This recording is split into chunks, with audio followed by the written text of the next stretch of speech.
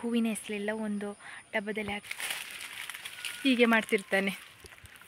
ನಮಸ್ತೆ. Hey guys good morning welcome to my new vlog ಎಲ್ಲರೂ ಹೇಗಿದ್ದೀರಾ? ಎಲ್ಲರೂ ಚೆನ್ನಾಗಿದ್ದೀರಾ ಅಂತ ಅಂದ್ಕೊಳ್ತೇನೆ ಸೊ ಗೈಸ್ ನೀವು ನನ್ನ ಚಾನಲನ್ನು ಮೊದಲ ಬಾರಿಗೆ ನೋಡ್ತಾ ಇದ್ದರೆ ಪ್ಲೀಸ್ ಸಬ್ಸ್ಕ್ರೈಬ್ ಮಾಡಿ, ಅಲ್ಲೇ ಇರುವ ಬೆಲ್ ಐಕನನ್ನು ಒತ್ತಿ. ಹಾಗೆ ಇವತ್ತಿನ ವ್ಲಾಗ್ ಸ್ಟಾರ್ಟ್ ಮಾಡುವ. ಲೆಟ್ಸ್ ಗೋ ಬೆಳಗಿದು ಕೆಲಸ ಎಲ್ಲ ಆಗಿದೆ. ಇನ್ನು ದನವನ್ನು ಕಾಡಿಗೆ ಬಿಟ್ಟರೆ ಆ ಕೆಲಸ ಮುಗೀತದೆ. ಆಮೇಲೆ ಇವತ್ತು ನನಗೆ ಕೈಕಮ್ಮಕ್ಕೆ ಹೋಗ್ಲಿಕ್ಕಿದೆ. ಯಾಕಂದರೆ ಬಾಳೆಗೊನೆ ಕೊಡಲಿಕ್ಕಿದೆ. ಸೊ ಹಾಗಾಗಿ ಮತ್ತು ಇಲ್ಲಿ ನನ್ನ ಅಪ್ಪ ಬಾಗಿಲು ಫಿಟ್ ಮಾಡ್ತಾ ಇದ್ದಾರೆ. ಇದು ಕೆಳಗಡೆ ಬಂದಿತ್ತು. ಅದಕ್ಕೆ ಎಲ್ಲ ಒಂದು ಮತ್ತೆ ಫಿಟ್ ಮಾಡ್ತಾ ಇದ್ದಾರೆ.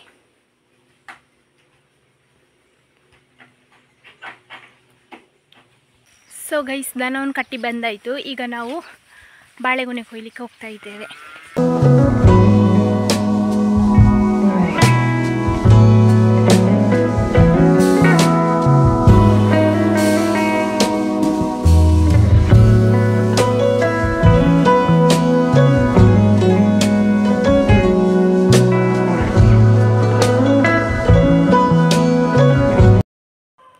ಗೈಸ್ ಬಾಳೆ ದಿಂಡು ಕೂಡ ತಂದಿದ್ದೇವೆ ಅದು ಮಧ್ಯಾಹ್ನ ದನಕ್ಕೆ ಹಾಕಲಿಕ್ಕೆ. ಗೈಸ್ ಅಪ್ಪ ಇಲ್ಲಿ ಚಂದ ಮಾಡಿ ಕಟ್ತಿದ್ದಾರೆ. ಎರಡು ಗೊನೆ ಉಂಟು. ಸ್ಕೂಟಿಯಲ್ಲಿ ತೊಗೊಂಡು ಹೋಗೋ ಬೀಳ್ತದಲ್ಲ ಅದಕ್ಕೋಸ್ಕರ.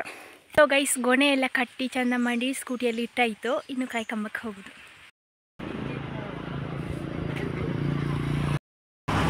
ಸೊ ಗೈಸ್ ಅಂಗಡಿಯವರು ಗೊನೆ ಎತ್ಕೊಳ್ತಿದ್ದಾರೆ ನೋಡಿ.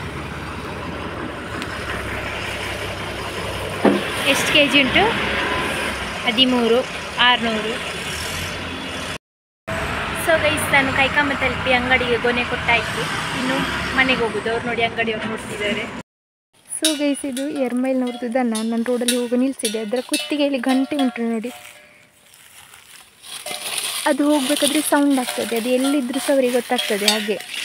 ಅದಕ್ಕೊಂದು ಚಿಕ್ಕ ಪಾಪ ಕೂಡ ಇದೆ ನೋಡಿ. ನಾನು ಕೈಕಮ್ಮದಿಂದ ಬಂದೆ. ಈಗ ಪಂಪ್ ನಿಲ್ಲಿಸ್ಲಿಕ್ಕೆ ಹೋಗ್ತಿದ್ದೇನೆ ಅಪ್ಪ ಹೇಳಿದರು. ಪಂಪ್ ನಿಲ್ಲಿಸಿ ಬಾ, ಹಾಗೆ ದನ ಸಹ ಚೇಂಜ್ ಮಾಡಿ ಬಾ. ದನವನ್ನು ಹೊರೆ ಕಟ್ಟಿದ್ಯಲ್ಲ ಅಂತ ಹೇಳಿ ಸೊ ನಾನು ಹೋಗ್ತಿದ್ದೇನೆ. ಹೀಗೆ ಹೋಗ್ತಾ ಇರ್ತಾನೆ ಅವನು ಮಾತ್ರ. ನೋಡಿ ಸೂಪರ್ ಅಲ್ಲ. ಕರಿಬೇಕು ಇವನು.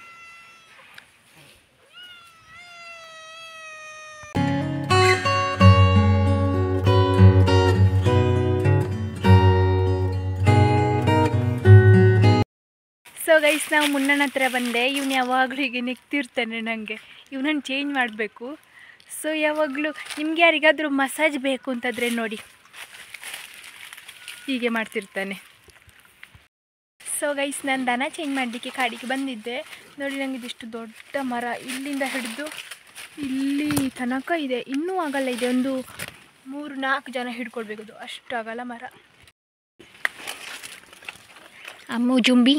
ಅಮ್ಮ ನೀರು ಕುಡಿದು ನೋಡಿ, ಇವತ್ತು ಸಹ ಹೊಳೆ ಹತ್ರ. ಅಂದರೆ ನಮಗೆ ಹೀಗೆ ಸುತ್ತಾಗಿ ಹೊಳೆ ಬರ್ತದೆ ತೋಟದ ಹತ್ರನೇ. ಸೊ ನೀರು ಕುಡಿಲಿಕ್ಕೆ ಹೊಳೆ ಖುಷಿ ಆಗ್ತದೆ. ಇಲ್ಲೆಲ್ಲ ಹುಲ್ಲುಂಟಲ್ಲ ಸ್ವಲ್ಪ ಸ್ವಲ್ಪ ಸ್ವಲ್ಪ. ಅದೆಲ್ಲ ತಿಂತಾಳೆ ಅವಳು. ಇನ್ನು ಸ್ವಲ್ಪ ದಿವಸದಲ್ಲಿ ಚಿಕ್ಕ ಬಾಬು ಬರ್ತದೆ ನಮಗೆ ಮನೆಗೆ. ಅಮ್ಮದು. ಪುಟ್ಟಮ್ಮ ಇಲ್ಲಿದ್ದಾಳೆ. ಪುಟ್ಟಮ್ಮ ಮುನ್ನೆ ಅಲ್ಲಿದ್ದಾನೆ ನೋಡಿ. ಅವ್ನು ಸೀದಾ ತೋಟದೊಳಗೆ ಹುಗ್ತಾನೆ ಅದಕ್ಕೆ ಅವನನ್ನು ಸ್ವಲ್ಪ ದೂರದಿಂದ ಕಟ್ಟಿ ಹಾಕಿದ್ದಾನೆ ಹೀಗೆ. ಇಲ್ಲಿರೋದೆಲ್ಲ ತಿಂದರೆ ಹೊಟ್ಟೆ ತುಂಬ್ತದೆ ಸೊ ಗೈಸ್ ದನ ಎಲ್ಲ ಚೇಂಜ್ ಮಾಡಿ ಆಯಿತು. ಈಗ ನಾನು ಹಾಳೆ ಕಡಿಬೇಕು. ಸೊ ಹಳೆ ಕಡ್ದಾದ್ಮೇಲೆ ನಿಮಗೆ ಸಿಗ್ತೇನೆ ಆಯಿತಾ? ಸೊ ದಿನಾಲು ಯಾಕೆ ಹಳೆ ಕಡಿತಿ ಅಂತ ನೀವು ಕೇಳ್ಬೋದು. ದಿನಾಲು ಕಡಿಬೇಕು. ಯಾಕಂದರೆ ಒಂದು, ಅದು ಸೋಗೆಲ್ಲ ಇಲ್ಲಿ ಬಾಕಿ ಆದರೆ ಸುಮ್ಮನೆ ಹರಟೆ ಆಗ್ತದೆ ತೋಟದಲ್ಲಿ. ಇನ್ನೊಂದು ದನಕ್ಕೆ ಡೈಲಿ ಹಾಳೆ ಬೇಕು. ಏನಾದರೂ ಒಂದು ಸಪ್ರೇಟ್ ತಿನ್ಲಿಕ್ಕೆ ಇರಬೇಕಲ್ಲ ಡೈಲಿ ಹುಲ್ಲು ಬೈ ಹುಲ್ಲು ತಿಂದು ತಿಂದು ಅವಕ್ಕೆ ಬೋರ್ ಆಗ್ತದೆ. ಸೊ ಹಾಗಾಗಿ ಹಾಳೆ ಅಂತೂ ಡೈಲಿ ಬೇಕೇ ಬೇಕು. ಮಧ್ಯಾಹ್ನ ಅವುಗಳನ್ನ ತಂದು ಕಟ್ಟಿ ಹಾಕುವಾಗ ಹಾಳೆ ಬೇಕಾಗ್ತದೆ ತಿನ್ನಲಿಕ್ಕೆ ಸೊ ಗೈಸ್ ಟೀ ಟೈಮ್ ಇವತ್ತು ಟೀಗೆ ಚೆನ್ನಾಗಿದ್ದಾನೆ ಆಬ್ವಿಯಸ್ಲಿ ಇವರಿಬ್ಬರೂ ಇದ್ದಾರೆ. ಇದು ಈಗ ಚಹಾದಲ್ಲಿ ಮುಳುಗಿಸಿ ಕಣ್ಣಿಗೆ ಹಾಕೋದು. ಯಾಕಂದರೆ ಅವನಿಗೆ ಕಟ ಕಟ ಅಂತ ಕಚ್ಚಿಕೊಂಡು ತಿನ್ನಲಿಕ್ಕೆ ಆಗಲ್ಲ ಅದಕ್ಕೆ. ಅಜ್ಜಾಗಿದ್ದಾನೆ ಅವನು ಇಲ್ಲಂದರೆ, ಇಕ ಇಕ ಕೂರ ಎಲ್ಲೆಲ್ಲಿ ತಲುಪ್ತಾನೆ ಈಗ? ಈಗ ಹೀಗೆ ದುಡ್ಕೊಂಡು ಹೋಗೋದು ಇದನ್ನು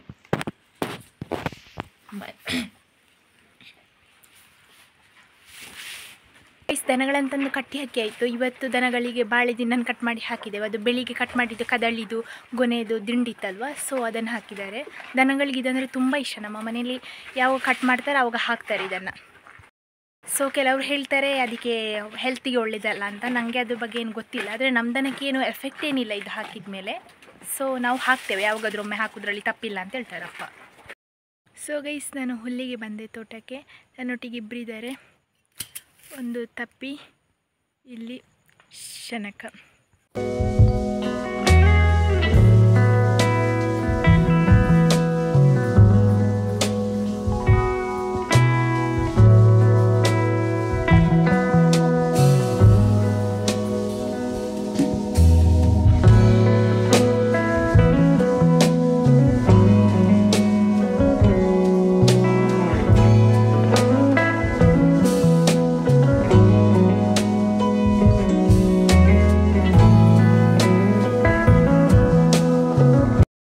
ಗೈಸ್ ಹುಲ್ಲು ಮಾಡಿ ಬಂದೆ. ಹಾಗಾಗಿ ಜೋರು ಹಸಿವಾಗ್ತಾ ಇತ್ತು. ನಾನು ಮ್ಯಾಗಿ ಮಾಡುವ ಅಂತ ಅಂದ್ಕೊಂಡೆ ಸೊ ಗೈಸ್ ಮ್ಯಾಗಿ ಆಗ್ತಾ ಇದೆ. ಸೊ ಗೈಸ್ ನಾನು ಮ್ಯಾಗಿ ತಿಂದಾಯಿತು. ಇನ್ನು ಸ್ವಲ್ಪ ಹೂವು ಎಸಲು ತೆಗೆಯುವ ಅಂತ ಅಂದ್ಕೊಂಡೆ ಯಾಕಂದರೆ ಗುಲ್ಕಂದ ಮಾಡಲಿಕ್ಕೆ. ಬನ್ನಿ ಹೋಗುವ.